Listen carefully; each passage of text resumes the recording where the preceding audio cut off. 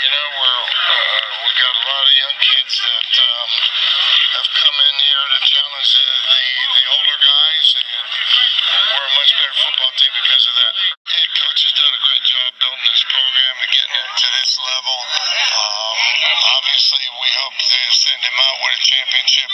That's the goal of this football team. And, um, you know, it, we're, we're going to be ready. We go down to Kentucky. We'll be ready.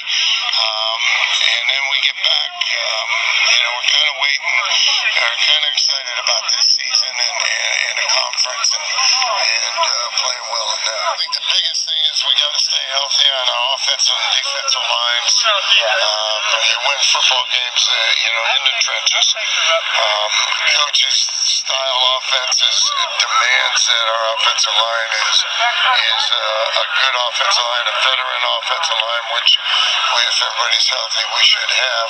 So I think based on that, um, we should be able to move the ball and score more points than we did a year ago.